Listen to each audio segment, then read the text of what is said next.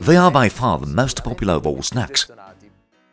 They can curb hunger during the day, be perfect companions with wine or with an aperitif, and even at the end of a meal. Yes, you got it. I'm talking about taralli. Here is our version.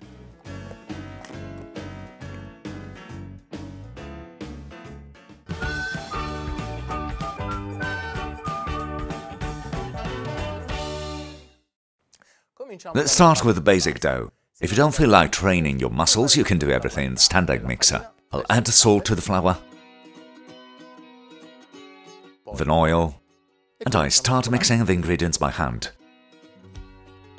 This is the basic dough here, although in our country you can find really many different types.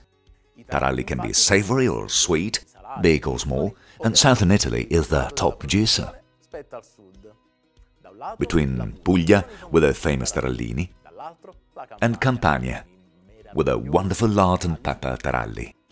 Here the dough has become crumbly, so I can add to the wine.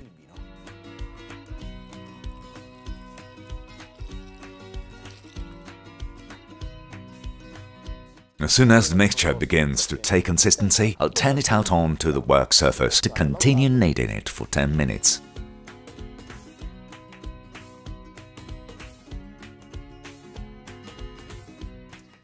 This is when, if you want to make small variations to customize your taralli, you can add for example some spices, pepper, chili pepper, fennel seeds or black olive pate for a Mediterranean version, or pizzaiola with tomato paste and oregano. When the dough is ready, I take small pieces of roughly this size.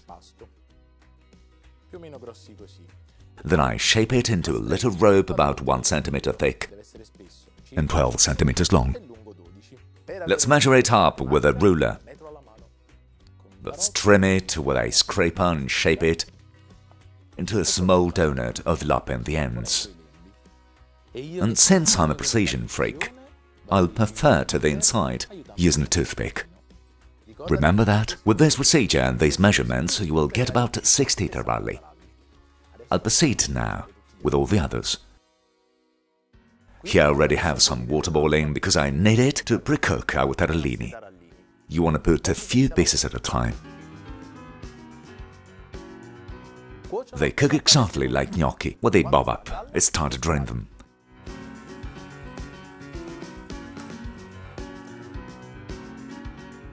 I'll drain the taralli on a tea towel. This will give them the right crunchiness. But if you prefer, you can also skip it and bake the taralli directly. Just bear in mind that they will have a different consistency, but it will give you the opportunity to choose the ones you prefer.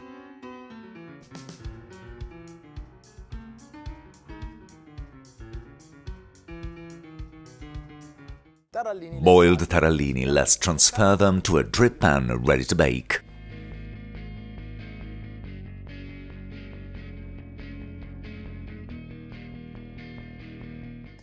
Now let's bake them at 190 degrees in static mode for about 40 minutes.